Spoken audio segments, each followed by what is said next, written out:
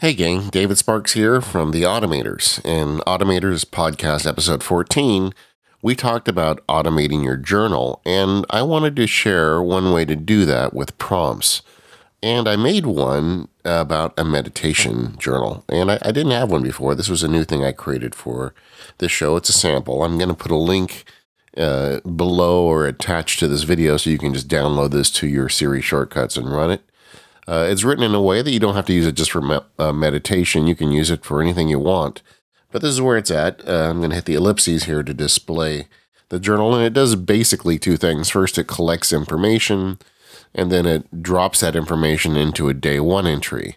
Um, you could put it in day one, or you could put it in text and, and use it somewhere else. But I've written this one for day one.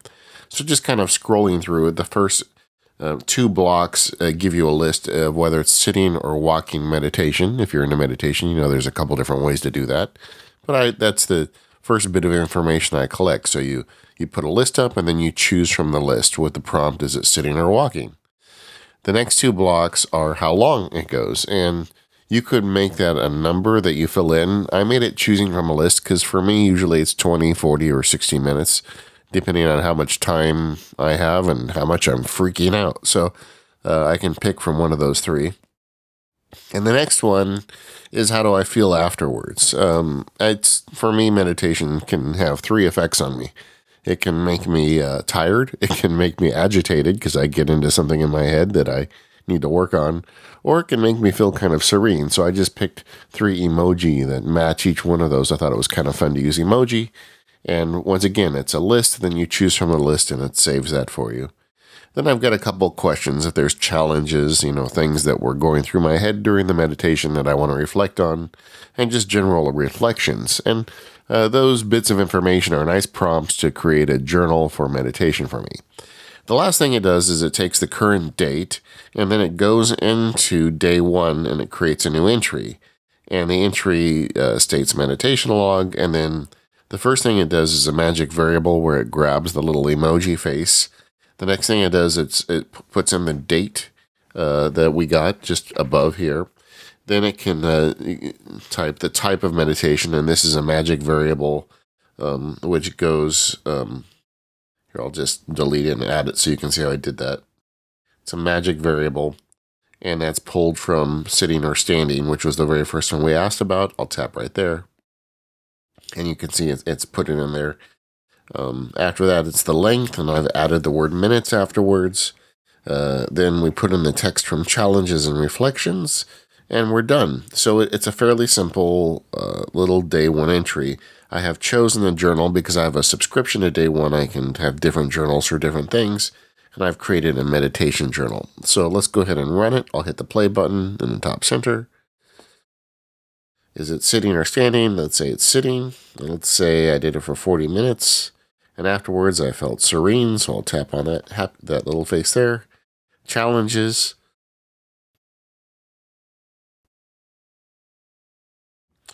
Reflections.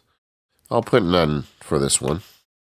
You don't want to hear about my reflections. I'll click OK and now it goes in day one and it creates that entry for me. And it's just a nice little journal entry. And running that Siri shortcut every day allows me to keep a journal of this stuff with the prompts I want. You could customize this journal to do anything from spending time with kids to just your daily log of events. Uh, it's not difficult to make these, and, and you could even make custom ones for different things that you want to journal. This is one of the simpler uses of Siri shortcuts. We're just collecting information and dropping it in.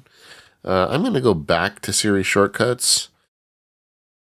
And let's say if we wanted to, uh, and I'll, I'll duplicate this entry. So we'll click done, long press on it, then hit the little duplicate button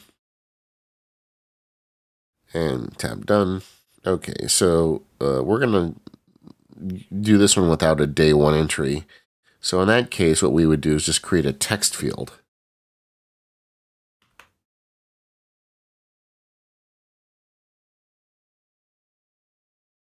And I'm going to go ahead and block and copy all that entry from day one. I'm going to put it in that text field. I can delete the day one entry. And so now we have the text field. And then you can paste that text into the app of your choice. Maybe it's Bear or Ulysses, um, or you know wherever you keep text on your iOS device.